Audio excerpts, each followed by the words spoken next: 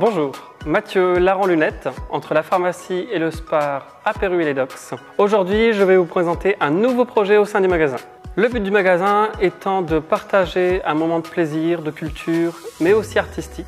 Après avoir exposé les œuvres des artisans locaux, je vous propose de prendre votre œil en photo afin de capturer le moment présent de vos amis, vos proches, vos enfants. Voici les différentes possibilités.